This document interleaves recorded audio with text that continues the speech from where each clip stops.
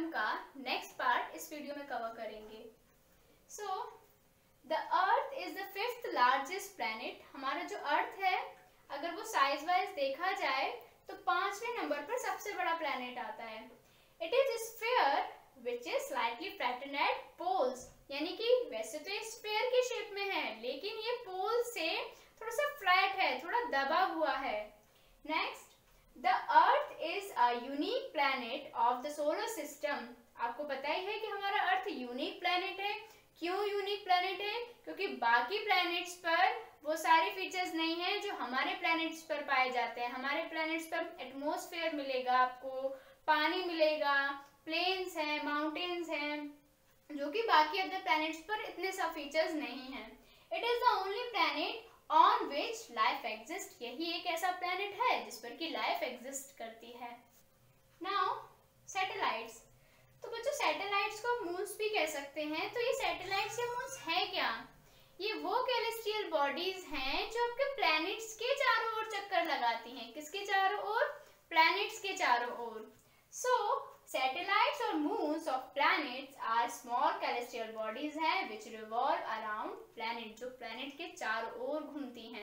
So all planets except Mercury and Venus have satellites यानी कि mercury और Venus को छोड़कर बाकी सभी प्लैनेट्स के पास अपने अपने कुछ कुछ सैटेलाइट्स हैं। The moon is the earth satellite आपको पता ही है कि मून जो है हमारे अर्थ का सैटेलाइट है, हमारे अर्थ का मून है। Jupiter has the most number of satellites यानी कि हमारे जुपिटर के पास बहुत सारे सैटेलाइट्स हैं, जो कि कितने हैं? 62 the satellites are smaller than the planet satellite जो है, हमारे प्लैनेट से साइज़ में छोटे होते हैं और हमारे प्लैनेट्स के चारों ओर चक्कर लगाते हैं। Jupiter satellite Ganymede is the largest satellite in the solar system पूरे सोलर सिस्टम में गैनीमीड जो है, वो जुपिटर का ऐसा सैटेलाइट है जो पूरे पूरे सोलर सिस्टम में सबसे बड़ा है। जबकि इतना भी बड़ा है कि मर्करी जो है, उससे भी साइज़ में बड़ा है, उस प्लैनेट से भी बड़ा है। Next next the moon revolves around the earth once in 27 days and 8 hours यानी कि मून जो है, हमारे अर्थ के चारों ओर 27 दिन 8 घंटे में एक रेवोल्यूशन पूरा करता है, एक चक्कर पूरा लगाता है। और यही ड्यूरेशन उसकी रोटेशन की भी होती है, यानी कि रोटेट भी करता है तो वो भी लगभग यही टाइम होता है 27 डेज़ एंड 8 आर या 27 days he.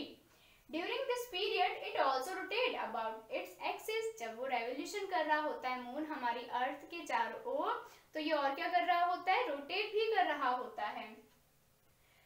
There is no life on the moon moon पर लाइफ नहीं है। It does not have water और एन एटमोसफेयर ना यहाँ पर वाटर है, ना ही यहाँ एटमोसफेयर है। ड्यूरिंग द डे यहाँ पे जो टेम्परेचर रहता है, दिन के समय, वो 100 डिग्री सेंटीग्रेड रहता है।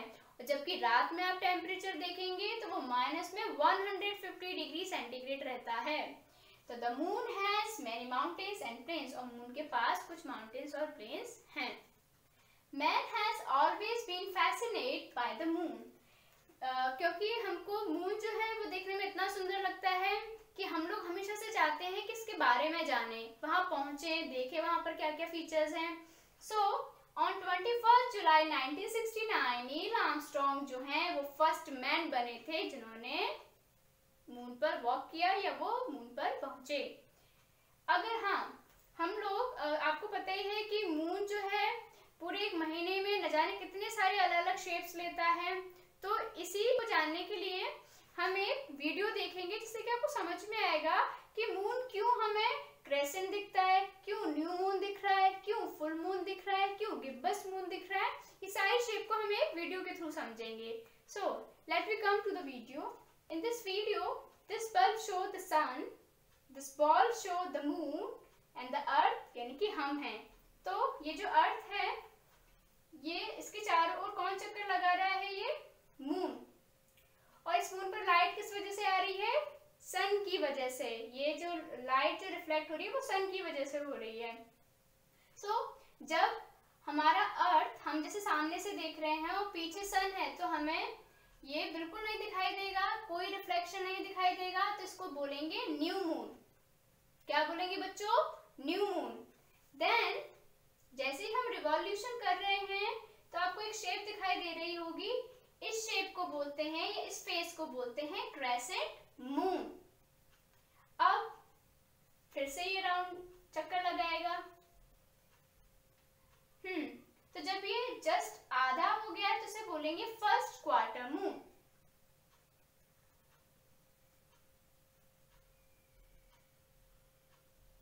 देन ये जो आपको शेप दिखाई दे रही है, जो क्रेसेंट्स के अलावा जो बचती है, वो है गिब्बस मून नाउ जब पूरी पूरी लाइट सन की पड़ रही है इस पर, तब इसे बोलेंगे फुल मून देन अगेन आपको दिखेगा गिब्बस मून ठीक है, देखिए, इतने पे लाइट है, इतने पे लाइट नहीं थी.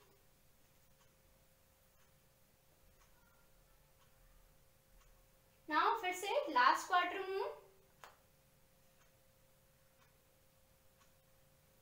again crescent moon. और फिर दोबारा से न्यू मून तो इस तरह से हमको मून्स की अलग अलग शेप्स दिखाई देती हैं, या फेजेस दिखाई देते हैं मून्स के। पार्ट है जो कि हम नेक्स्ट वीडियो में कवर करेंगे. थैंक यू बच्चों.